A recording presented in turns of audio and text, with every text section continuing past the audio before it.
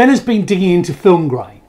Grain on film has traditionally been difficult for video codecs to process efficiently, but it's an important part of the analog look of film.